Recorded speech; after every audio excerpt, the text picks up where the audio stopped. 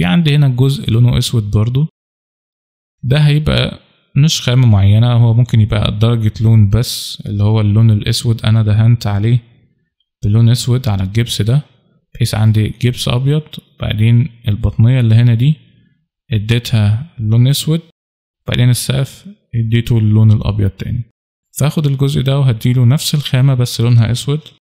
فممكن أقول له كده P perspective و Z بقيت شايف عند البلوك عندي بس محتاج أرجع تاني لل slotات وهاخد منها copy بالشكل ده مجرد بس ما بضغط عليها واسحبها أحطها جنبها هو كده هو كده خد منها نسخة.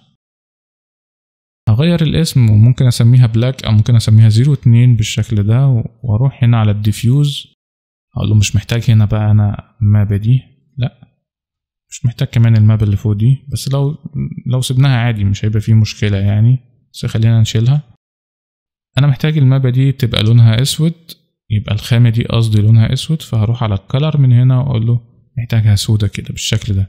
بس طبعا مفيش حاجة عندنا في الواقع لونها أسود بالشكل ده ولا في حاجة أصلا في ال Max تبقى بالدرجة دي.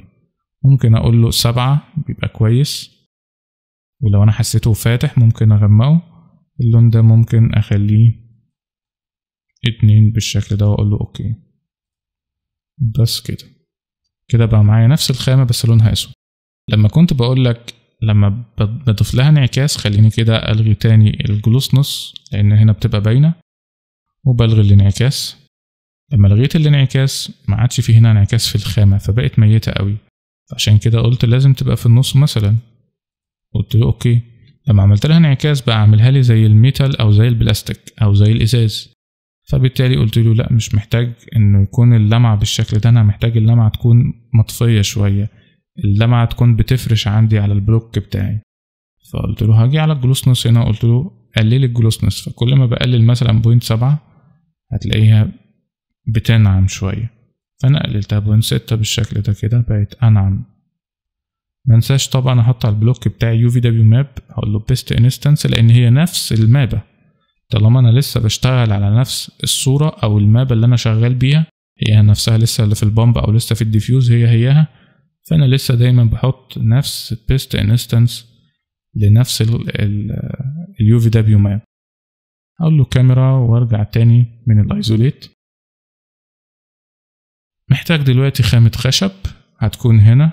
طبعا بحطها من نفس ال reference اللي أنا ببقى مختاره اللي أنا بعمل منه تغذية أو اللي أنا بشتغل منه على الفراغ معايا أو اللي مدهوني العميل. فأروح عندي على ال material بتاعتي وهبتدي أشوف أقرب خامة خشب وهشتغل بيها.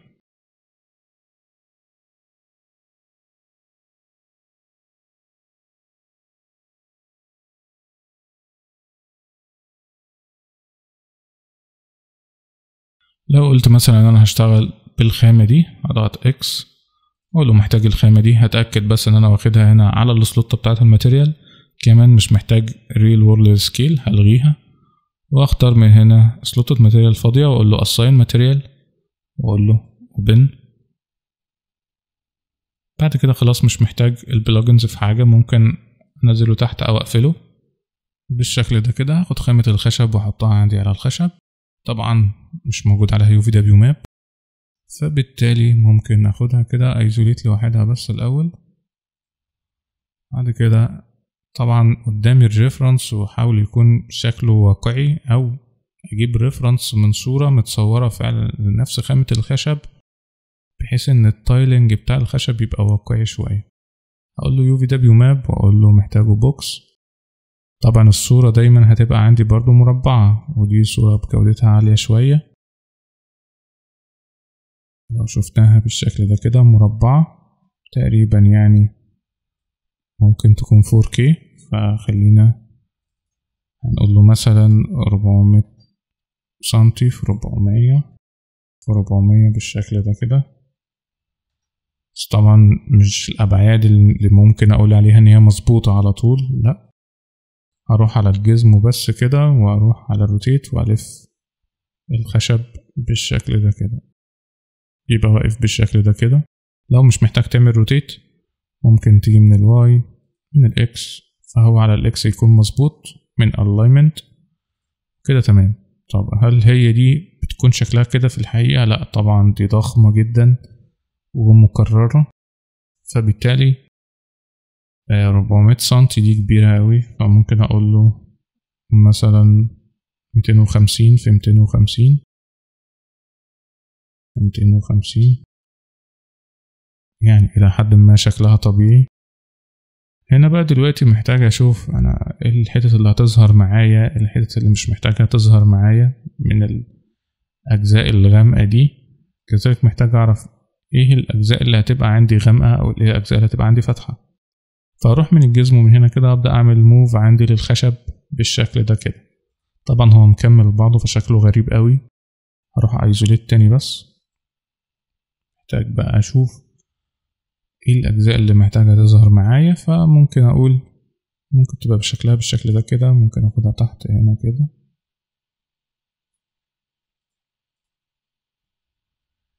شكلها غريب قوي كمان إنه في حيطة ورا شكلها لونها gray فممكن أعمل select بس على الحيطة اللي في الظهر دي. ممكن أديلها نفس الخامة اللي لونها أسود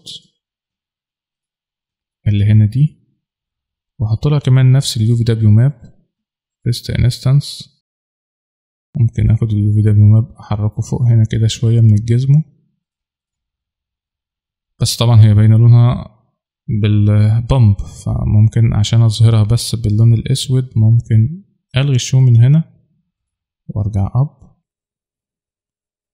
لو رحت هنا مش هقدر أقول له show فبالتالي مش هقدر أشوف اللون ال gray ده فممكن أخده copy من هنا وأحطه بره هنا وأقول له show بس الخامة فبيديني لونها أسود بالشكل ده كده بحيث إن هي تبان معايا لونها أسود هنا في ال viewport لو أنت محتاج إن هي تكون كمان الإكساء بتاعها يكون خشب فمفيش مشكلة ممكن تحط عليها خشب بس عشان تبان معايا بس في ال viewport عندي. أنا محتاج يكون شكلها كده ألطف. دلوقتي جه الوقت بقى إن إحنا نبدأ نحدد. هل أنا محتاج الحتة اللي هي الجزء ال solid الكبير هنا ده؟ لا فمحتاج إن أنا ألغيه أروح على ال edit poly وأقول له مش محتاج الحتة الغامقة دي. مش محتاج كمان حاسس إن دي ممكن تيجي هنا.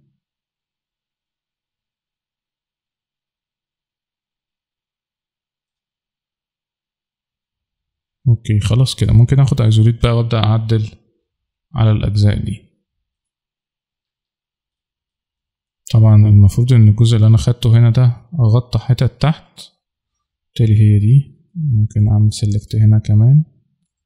بضغط بس ضغط ضغطتين ورا بعض فبالتالي بيعمل لي أول مرة select على دي. أنا ضغطت هنا مرتين بيعمل لي select على الجزئية لما بتكون تحتها بالشكل ده كده. ممكن آخد دول كده آخدهم move ناحية الشمال شوية. ممكن آخد القطعة دي. القطعة دي وأقول له control shift خدهم move هنا. okay. كذلك بقى هنا برضو محتاج copy التلاتة دول جنبهم هنا تاني. بحيث لو أنا دلوقتي رجعت تاني ال create ورحت الكاميرا له isolate الوضع بالشكل ده كده. تمام إلى حد ما الدنيا شكلها لطيف.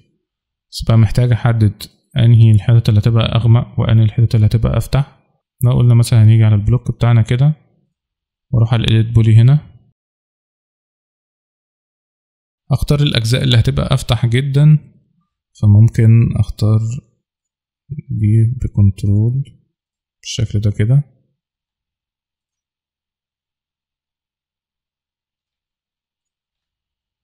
دول مثلا هيبقوا أفتح حاجة. كذلك لو جيت خدت هنا مثلا الأجزاء دي تبقى فاتحة. كذلك لو خدت هنا كذا واحدة كده. خلاص كده تمام. دي الأجزاء اللي أنا محتاج أعمل لها detach محتاج أفصلها بحيث إن أنا أبقى عارف إن هي دي الحتت اللي هتبقى فاتحة جدا. فبالتالي هروح من هنا أقول له detach بيقول لي detach as clone أقول له لأ. detach to element برضو مش محتاجة. أقول له okay بالشكل ده كده. بحيث إنه يبقى عندي الأجزاء اللي اتفصلت هي اتفصلت خالص بالشكل ده كده عن الكتلة بتاعتي.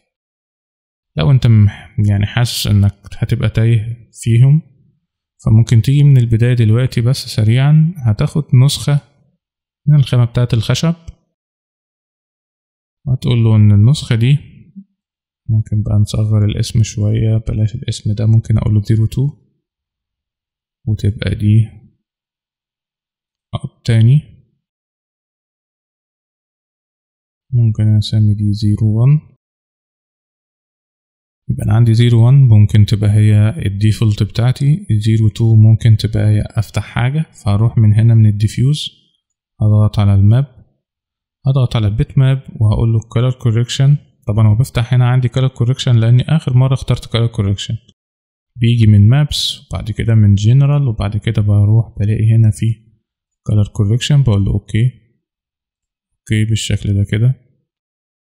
في ال color correction بقدر بقى إن أنا أتحكم شوية في الخامة نفس في ال map نفسها إن هي تفتح الخامة أو تقفلها. فممكن أنزل الخامة دي عندي على الأجزاء الجديدة هنا. وأقول له بس show؟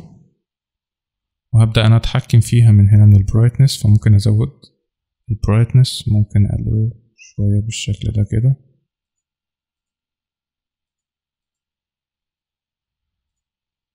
بس فرقت الألوان بحيث إن أنا آخد بالي اللي بيحصل ممكن اديلها contrast اتنين مثلا تلاتة. بالشكل ده كده. ويبقى عندي brightness خمسة. طب ستة. طبعا وقت ال render ممكن الكلام ده يختلف خالص لأنه في ال render وقت ال render وقت ما الصورة بتطلع لي فعلا ممكن أغير رأيي في خامة الخشب أو أغير رأيي في ال contrast ما بين الألوان. طيب فرضا أنا محتاج أزود هنا أجزاء كمان أفتح فممكن أروح على الجزء الأساسي بتاعي. وأروح هنا على ال element وأبدأ أمسك كمان أجزاء بالشكل ده كده وأقول له دي attach تاني. وأقول له تمام okay. وأروح أضيفها على طول لل element اللي أنا كنت فصلته في الأول وفتحته. وأقول له attach وأضيفه لده كده. وأقول له محتاجهم بس الاتنين يكونوا خامة واحدة بالشكل ده كده. بعد كده هلغي اتاش عشان بس أقدر أعمل select براحتي. okay بالشكل ده الدنيا ألطف. محتاج كمان خامة باركيه فعندي من ال reference بشوف الباركيه المستخدم إيه. ولو العميل كمان محتاج باركيه ف okay الدنيا تبقى ماشية معايا. لو أما لو العميل هيحتاج مثلا رخام فبقدر إن أنا أشوف خامة رخام تكون مناسبة للفراغ بتاعي أو تبقى مناسبة لل reference اللي أنا جايبه بحيث إنه بنسبة كبيرة هتبقى متوافقة معايا بحيث إن لما أجي أعمل test تبقى الدنيا سهلة شوية إنه هغير بس في خامات بسيطة معينة يبقى الموضوع معايا بسيط. فراح تاني لل plugins وهفتح الباركيه وابتدي أشوف خامة باركيه تكون مناسبة للفراغ عندي. فمطلوب مني إن أنا أستخدم خامة باركيه تكون باللون ده كده بالشكل ده بالتقسيمة دي. فبالتالي هي دي اللي هختارها. أختار هنا عندي slot فاضية وهروح على ال slot برضو من هنا وأقول له assign وأقول له okay. بالشكل ده خلاص.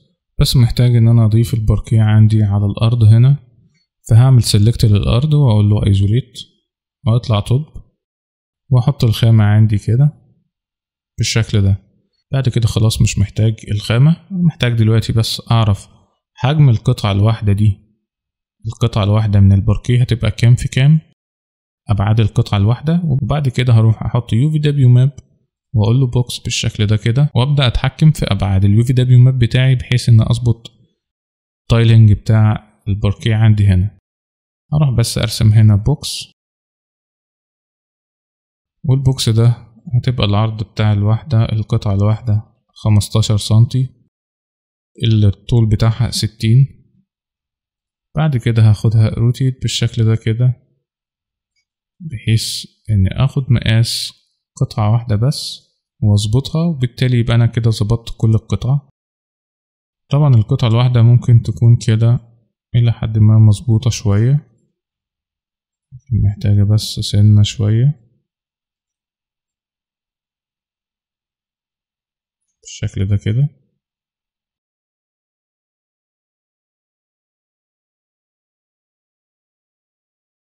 تقريبا بالشكل ده كده تمام. أقول له delete خلاص. هروح للكاميرا وبعد كده أقول له isolate رجعت أنا كده للفراغ عندي. تمام كده. هنستكفي كده المرة دي ونكمل بإذن الله المرة الجاية. في النهاية ما تنساش تعمل like للفيديو وتنزل تحت في ال description تبص على المصادر وتشوف ال videos اللي فاتت. وتشترك في القناة وتفعل الجرس عشان يوصلك الجديد. شكرا.